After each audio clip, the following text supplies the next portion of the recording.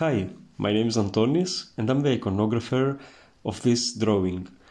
Uh, here I want to share with you some tips on this amazing exercise of uh, drawing and uh, this exercise can be applied uh, both uh, when painting an icon, when drawing an icon or when we want to study a master painter of uh, the Renaissance, the Baroque or anything we want. We can also use this exercise before painting a portrait and uh, this uh, really helps uh, a lot. So as you see I have uh, already uh, drawn my uh, Virgin Mary here on uh, my paper. And uh, now uh, this in in order to do this exercise I want to shade the the face of Virgin Mary and Christ the whole icon with just a pencil and um, to discover and to place the shapes of shadow and uh, light on uh, her face. So little by little, as you see, and uh, very carefully, uh, here I'm using a very soft uh, pencil. Uh, it's 8B, the number of this pencil, but you can use any kind of pencil you like. With the use of this pencil, I will start shading the face of uh, Virgin Mary here, little by little. And uh, as you see, I'm uh, uh, really defining the uh, the areas where uh, I have my strongest shadows, my strongest darks, and I define also the shapes of light on her face and on her clothes, little by little this is um, a very uh, effective exercise because uh, it will uh, help us uh, familiarize ourselves with uh, the icon that we will uh, later on paint. It will help us be more uh, precise and uh, more careful. It will help us uh, see the areas of the lights that we will later on paint. This is important because in many cases, especially um, beginner iconographers uh, have a great drawing, but uh, when they are to place uh, and paint the forms of light and shadow, um, they just um, place them in a not uh, correct uh, way. So this way, um, and without uh, a lot of uh, cost, it's just uh, um, a study on a piece of paper.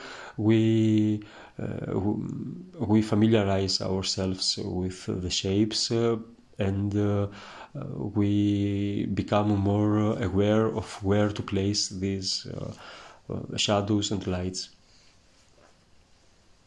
So there is not a specific method to how a shade uh, a face, just uh, by being uh, a little bit careful and slowly darkening uh, our uh, shapes. It's uh, much like the watercolor uh, technique where we gradually go from uh, light to shadow.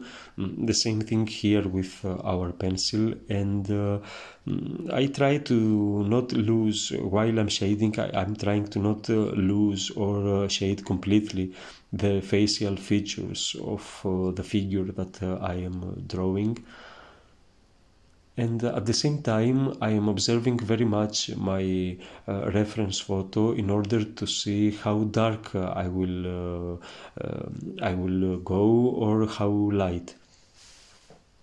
Hi i'm antonis and i'm proud to present you my online course in iconography paint an icon with me.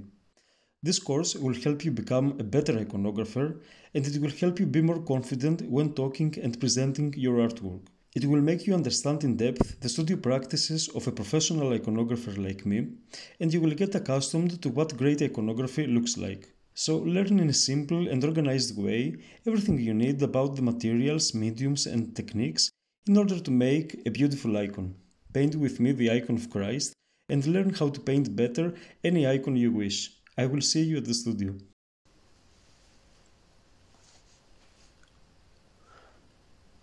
The result of uh, this exercise, as you see, is uh, a very charming drawing.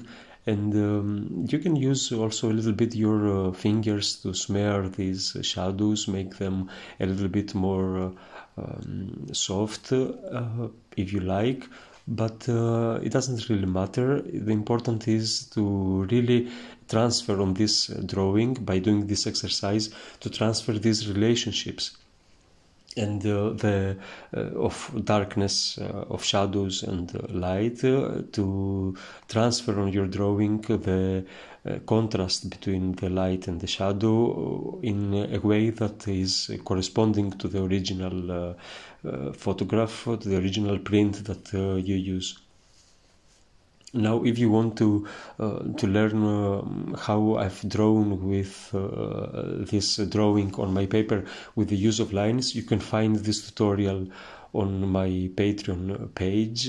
And really I want to thank my supporters there for their help. It's really amazing. Um, we also do these live streams where we get to meet each other on camera and talk about uh, our uh, uh, work, our um, either no matter if it is iconography or painting, talk about techniques and uh, share uh, our um, thoughts and opinions on uh, the work. It's really nice, and I want to thank you so much. These live streams have been amazing so far. I also want to thank you for your beautiful, amazing comments uh, here. And um, many of you tell me how helpful these videos here on YouTube are for you, uh, how inspiring they are for you. And this is uh, very, very, um, very rewarding for me. So thank you all uh, so much.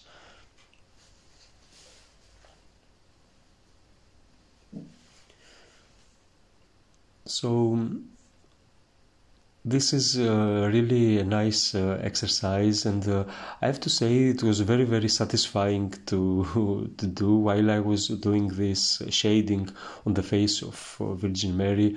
Uh, it was very contemplative. It was very um, hypnotic, uh, let's say. Mm, so really uh, i urge you to to do this exercise especially if uh, you are uh, new in iconography and you want to learn uh, more.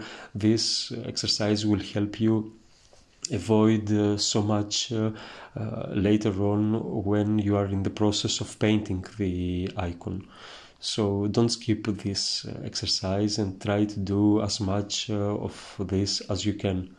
Of course, I am. Um, I've, uh, the important here is uh, to have a strong uh, basis of drawing whereupon the shading will uh, happen so it's important to to have done already your exercises on the eyes uh, the nose, how to draw properly a nose, uh, the eyes in iconography. Uh, it's very important that you are already um, familiar with these lessons.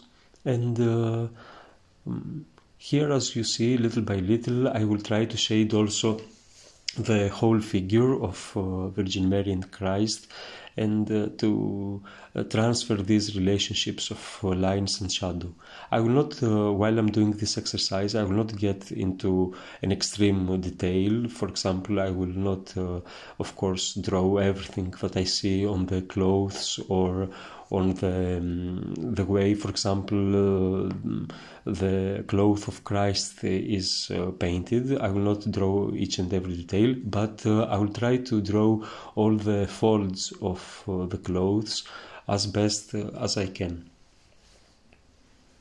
the important uh, thing and the, the, goal of this ex exercise is uh, to familiarize myself, to spend uh, more time with uh, uh, this painting uh, as much as I can.